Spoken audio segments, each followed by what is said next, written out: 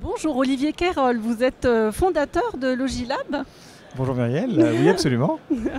Donc c'est une entreprise qui est engagée à produire des logiciels libres.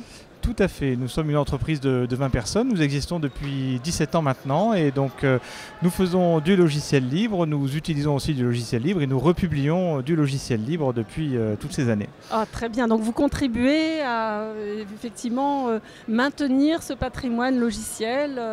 Le, le, jardiner, comme on dit. Absolument.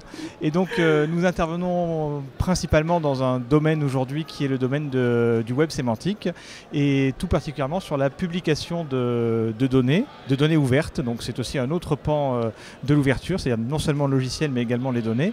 Nous avons par exemple travaillé sur le site de la BNF, data.bnf.fr, qui est un site qui a été publié en 2011 et qui publie donc toutes les données de la BNF euh, dans les formats ouverts du web sémantique, c'est-à-dire des données qui sont liées et qui peuvent être réutilisées par des machines. C'est merveilleux. Et du coup, pour les, voilà, ça permet de démultiplier la capacité d'exploitation de ces données, euh, euh, les bibliothécaires. Euh, oui, oui, parce qu'on ne sait pas aujourd'hui comment peuvent être utilisées les données par les utilisateurs et avoir la capacité de pouvoir écrire des logiciels qui réutilisent directement les données est vraiment un plus. C'est merveilleux.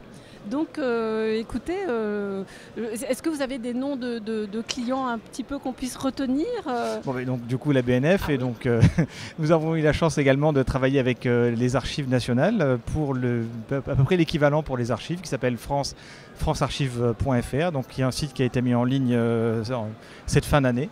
Et donc là aussi, c'est un site qui va permettre de centraliser au niveau national l'ensemble des informations publiées par les différents services d'archives départementaux, municipaux, etc. Et donc avoir un point unique d'accès pour euh, les internautes et les citoyens pour pouvoir réutiliser ces, données-là. Très bien. Alors, il me semble que le, langage favori euh, de vos activités, c'est le Python. Mais oui, absolument. Est-ce que vous pouvez nous en dire un mot?